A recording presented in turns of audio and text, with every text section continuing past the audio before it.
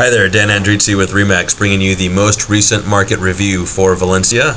Uh, we're looking at November 2011. Those are the most current stats that we have. Uh, we should be getting December stats real soon, and at that time, we'll put together a year in review and we'll compare 2011 with 2010.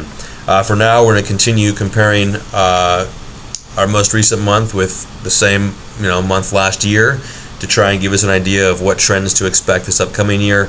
Uh, looking at Valencia, November 2011, comparing it with November 2010.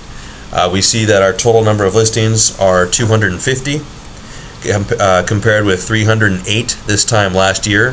So we have 19% fewer listings. Uh, buyers, that means you have 19% fewer homes to choose from. And the sellers, you have 19% fewer homes to compete with.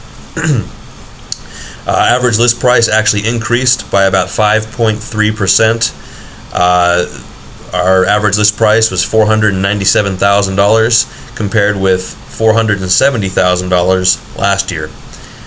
Our uh, average sales price was almost the exact same as last year, $388,000 as compared with $394,000 uh, this time last year, uh, reflecting a change of about $6,000 and our absorption rate or our month's inventory is still reflecting a uh, balanced to seller's market at 18.1 weeks uh, compared to this time last year 19.4 weeks.